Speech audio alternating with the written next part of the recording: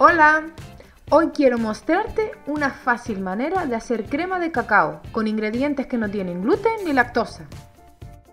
Para realizarla vas a necesitar 100 gramos de avellanas tostadas, 50 gramos de cacao puro en polvo, 2 cucharadas de aceite vegetal, en este caso he usado la de oliva, pero puedes usar la que tengas en casa o la que más te guste.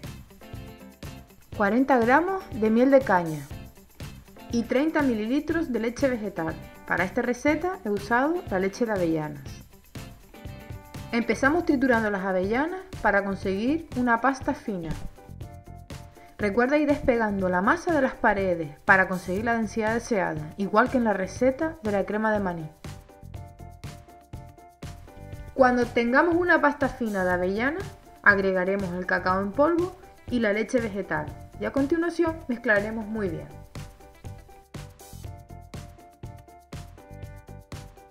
Una vez integrado el cacao con la pasta de avellana, incorporamos el aceite y la miel. Volvemos a mezclar e integrar bien hasta conseguir la crema de cacao que buscamos.